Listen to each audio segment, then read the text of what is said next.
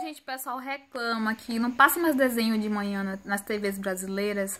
Mas eu fico pensando, gente, cadê o público-alvo? Não tem mais público-alvo, gente. Esqueça o negócio de desenho. As crianças de hoje, os meninos de 11, 12 anos, eles já estão mandando selfie do piruzinho dele para as novinhas. Não tem mais essa questão de criança assistir desenho. O menino só quer saber de tablet, celular, computador, jogos, videogame, grupos de WhatsApp. Entendeu? As novinhas hoje, elas vão pro pediatra, ela já, já vai ela e o filhinho recém-nascido. Ela faz uma consulta, é, duas consultas em uma só. Elas já parem tão novas que já vai ela e o, e o bebezinho.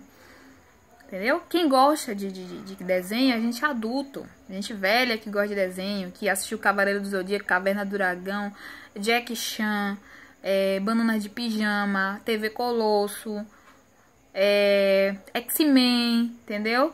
Pica-pau. As novinhas hoje só quer saber de quê? De pau mesmo, não quer saber de pica-pau não. Entendeu?